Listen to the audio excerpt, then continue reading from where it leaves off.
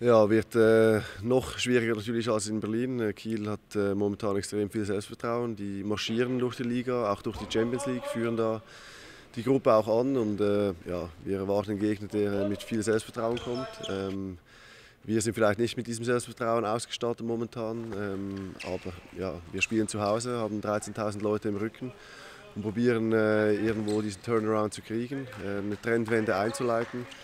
Da sind wir unschuldig, im Verein schuldig und auch den Fans schuldig. Und wir werden am äh, Donnerstag alles reinlegen, obwohl es vielleicht seit, seit langen Jahren wieder das erste Mal ist, eigentlich, äh, dass man nicht als richtiger Favorit ins Spiel geht, obwohl man ein Heimspiel hat, weil die Vorzeichen nun mal so sind, dass, äh, dass es zwei Mannschaften sind mit zwei unterschiedlichen Leistungskurven momentan.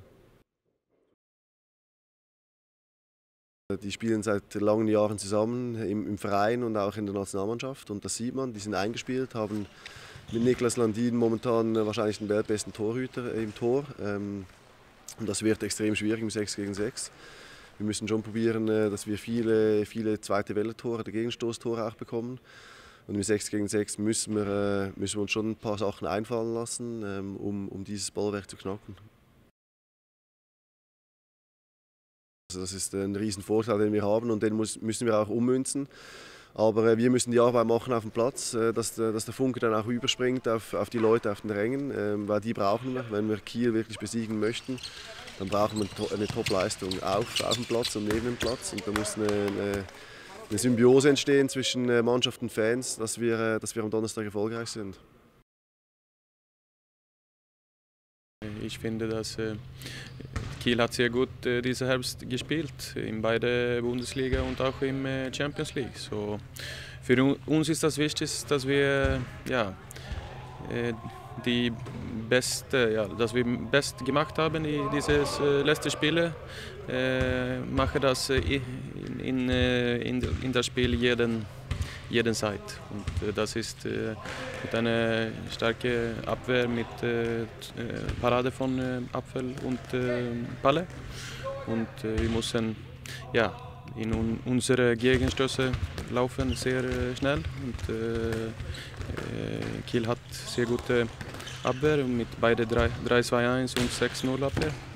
und für mich, wir gerne machen viele Tore im Gegenstoß dann äh, finde ich, das ist eine große Möglichkeit für uns. Äh, das ist Topspiel in unserem äh, Heimspiel in der SAP Arena. Das ist sehr wichtig. Wir haben diese ersten elf Spieltage acht Spiele auswärts gespielt und äh, ich finde es sehr schön, dass wir mit unseren Zuschauern im SAP Arena haben die Möglichkeit für zwei Punkte zu kämpfen. Wir haben die drei letzten Spiele ja, nur zwei Punkte äh, und die Möglichkeit war sechs.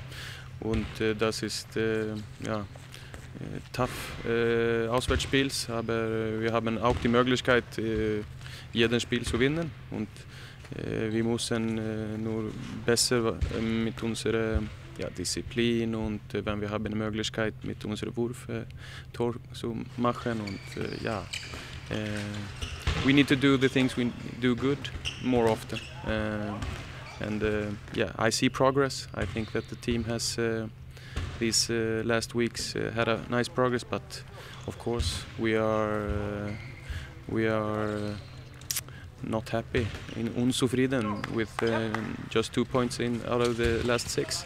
So for us, it's really important to get a good Leistung on Donnerstag and yeah win the game. That's of course our main main goal. But to take the good things we made in these last games and uh, do them more often on Donnerstag.